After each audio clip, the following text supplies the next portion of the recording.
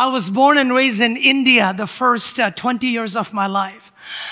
Our people were called Nagas by our neighbors, the naked ones, because we were warriors and headhunters.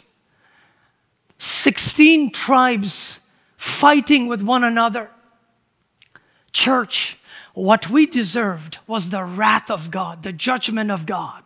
God should have just wiped us out, given our bloody history. But rather than sending judgment, God sent a missionary, an ordinary church member.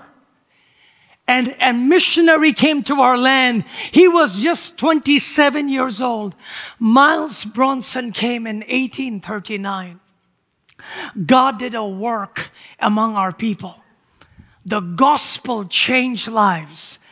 Today, when you go to my state in Nagaland, it's a mountain filled with churches all over the place. And, and in a given morning like today, there will be churches filled with people worshiping Jesus. And Nagaland now is called the most Baptist state in the world. Hallelujah. The most Baptist state in the world.